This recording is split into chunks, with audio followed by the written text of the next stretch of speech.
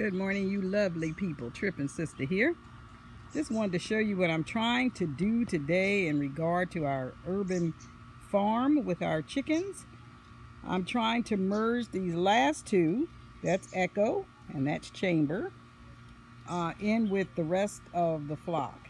And so I've been sitting out here with them for a couple of hours just to make sure that um, nobody got beat up too bad and that if I needed to lock them back in their house over here, then that's what I would do. Strangely enough, Heather and Skittles and my two leghorns down there that are drinking, the two white ones, were originally first brought out here and this was their home.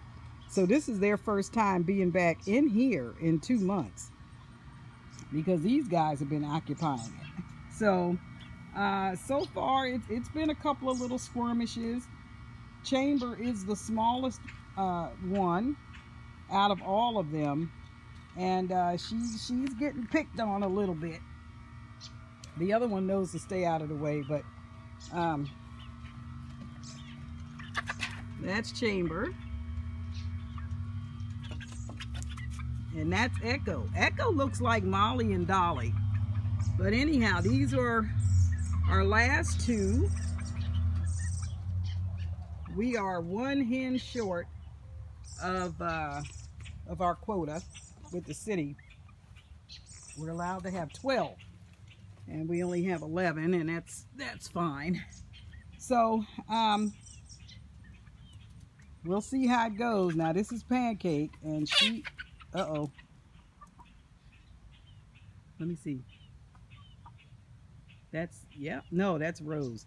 So anyhow, poor baby. I'm just staying out here to make sure it doesn't get bloody. If it gets bloody, then I'll have to put the two younger ones back in their coop uh, and close this door right here. Bring this door down so that the other girls can't get to her or to them.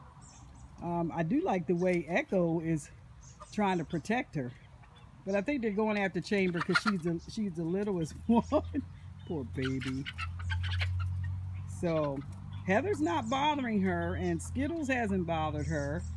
Uh, Turnip, who's sitting down there in the dust bath, is usually a very mild hen and she was going after her. You know, and the thing is, they've been out here together for the last two months. It's just that I've kept this closed.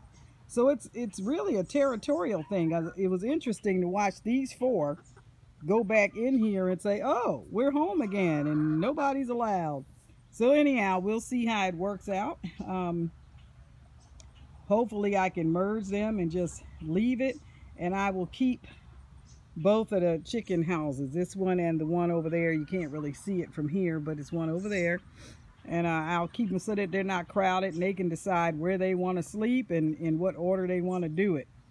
So anyhow, it is currently 82 degrees, I think. Uh, we haven't put their frozen bottles out yet because they're fine. Is when it goes over 85, then they start getting a little bit overheated and that's when we uh, try to do something.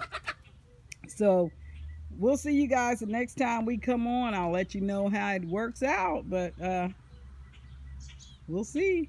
I don't know. Skittles got her hemmed in over there, so I'll see. And uh, that's Pancake right there. She's checking out her old roosting spot. Anyhow, we'll see. Rose does not like the company. Oh my goodness. Anyhow, we'll see. I'll be back. Talk to you guys later. Keep tripping.